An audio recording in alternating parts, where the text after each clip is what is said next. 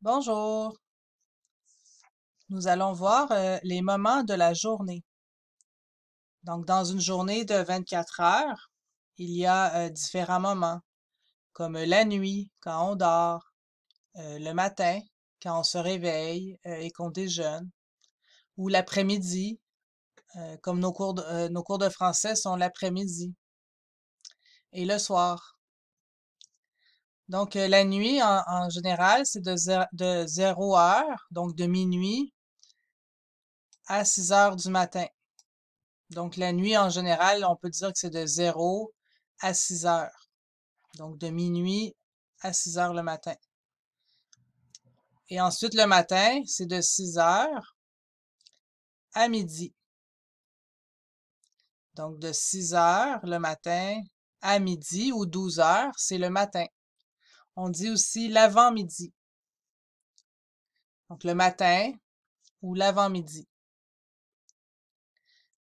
Et euh, l'après-midi, comme nos cours de français, c'est de 12 heures à 18 heures. Donc d'environ 12 heures à 18 heures, on appelle ça l'après-midi. Et ensuite, après 18 heures, jusqu'à minuit, 24 heures, euh, ben, c'est la, soirée ou le soir. On appelle ça le soir. Euh, donc l'été, le soir, euh, il fait clair, mais l'hiver, il fait noir, hein, le soir. Donc on appelle ça le soir, l'après-midi, le matin et la nuit. Donc la nuit, on dort. Le matin, on se réveille, on se prépare pour la journée. L'après-midi, on fait nos activités. Et le soir, on se repose avant de dormir.